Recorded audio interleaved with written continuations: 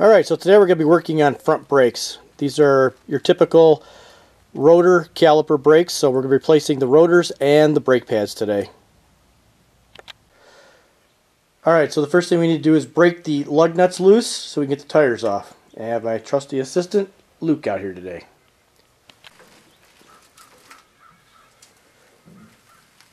Alright, so we break all four of them, and then we'll go the other side and break them, and then we can lift the uh, car up.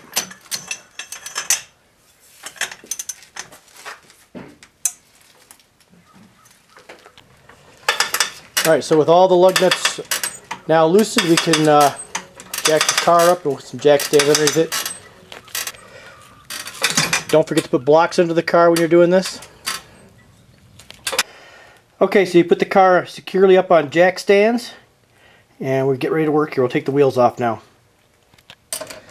Alright, so since we pre-loosened the lugs, they're a lot easier to get off now, so he's loosening them all up and we're going to take the tire off. Alright, so the tire's stuck on, so what he's going to have to do is, uh, there's two ways to do this. We're going to show you one way and then we'll show you another easier way. Yep, turn on and just kick that tire. Okay, kick it further over now.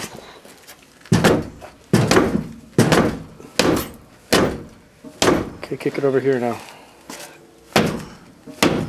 There you go. Now I left the lug nut on there so it wouldn't go flying off on him, so he got that off. Now let's go to the other side and I'll show you an, an easier way.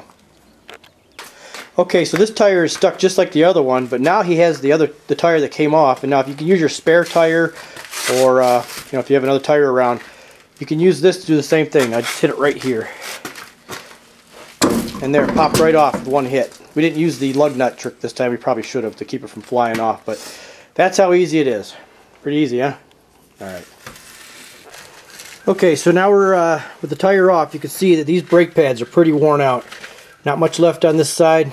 Uh, the rotors don't look that great, so we decided to do the whole thing at once here while we're at it. So, first thing we need to do is remove the uh, the caliper to get the brake pads out. Okay, so we'll take the slide pins out top and bottom and then we'll work on the caliper itself the, this uh, piece here that's held onto the caliper so we can get these brake pads out. We'll put the new one and we'll uh, work on getting the new ones in and replacing the rotor. Okay so with the uh, slides removed and these bolts here already loosened pre-loosened while it's on the car it's a lot easier now to be able to pull this uh, caliper right off. So go ahead and pull that off. We just kind of wiggle it back and forth, and then we'll just we'll have to just pry it out of there. Go ahead and pull. Keep working it back and forth until you can get it out of there. There you go. Alright, that's all there is to that. Now we can work on getting the uh, brake pads out. Okay, so on the Escort that we're working on today, you have to disassemble the caliper a bit. The brake pads are held in by pins, so the screws that we loosened prior to pulling off the uh, caliper are coming out now. And that'll let us uh, disassemble this the rest of the way. Okay, so now we've got the screws out. Now this caliper should, come apart from, from itself here. And work on that. I got to use my other hand here, so let's shut this off.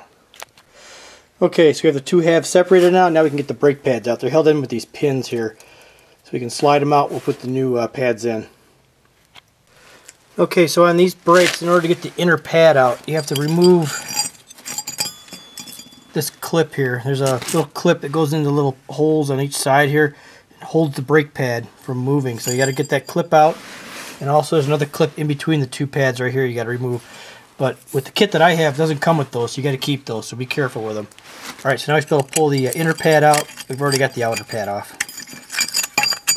Okay, so we got the brake pads installed with the clips. Now we have to work on this caliper. We got the push in, the piston, and we use a big C-clamp for that. So we're going to get that installed. Okay, so with one of the old brake pads, the metal piece, backing, and the C-clamp, you just start cranking this down you get that piston pushed back in again. Sometimes you have to open up your reservoir if you're uh, had filled it up recently. It might try to come squirting out, so you got to watch out for that. Okay, so the piston's already pushed all the way in now, and now we can start working on changing out the uh, uh, rotor. Okay, so with the dead blow hammer, you just start whacking on the uh, back of this uh, this rotor, and you just knock it out, like that. All right, so now we just uh, clean up this area here. We just kind of washed, uh, wiped it down really well, so there's no pieces of metal back there. We put the new rotor on. Just line up the holes and slide it on. All right, now we can reassemble the caliper and the brake pads. All right, so now we just put the uh, bolts back in, top ones first, and then we put the slide pins in. After we grease them up. Okay, grease the pins up, and then we'll put the caliper in place and tighten everything up. Alright, got the pins in. Now he's just tightening it up. And we're just about done here, so we're going to work on the other side. And uh, we'll have this all done. We get this uh, clips in the right positions here. Once you get everything tightened up, we just push them down and clip them into the middle of the uh, brake pads. That'll hold them in place. So, Alright, so we're just going to tighten everything up and uh, we'll be ready to go. Alright, well, that'll do it. Pump brakes are done. Car's ready to go. Thanks for watching.